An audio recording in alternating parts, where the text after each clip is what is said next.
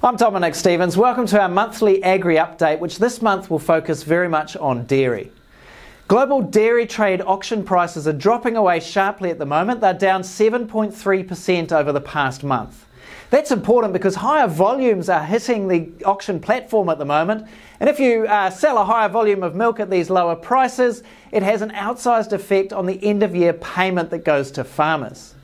Fonterra and other processors have been forecasting very high farmgate milk prices this season. Fonterra's forecast was $7, which really perplexed us when it came out because our own forecast is $6.40.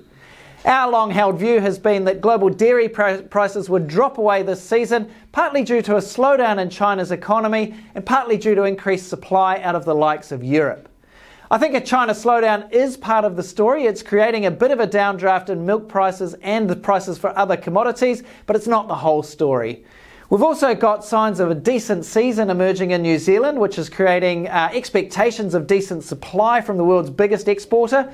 And the other thing going on, of course, is the global trade wars. US tariffs on a range of products have just actually come into force, Meanwhile, Mexico, Canada, and China have all put tariffs on US dairy exports. Now, you might think that China's tariffs will create an opportunity for New Zealand to export into China, but you've got to also remember that those US exporters have got to land their products somewhere in the global market now. If you think globally, well, what's going on is that some consumers somewhere are paying higher prices due to the tariffs. That'll reduce consumer demand a bit. Meanwhile, at least in the short run, global dairy supply hasn't changed at all. That should add up to slightly lower prices, at least in the short run. Okay, so trade wars and a bit of a China slowdown are producing a bit of a downdraft in commodity prices, which is bad news for farmers.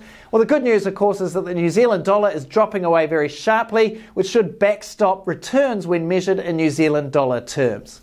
Talk to you next month.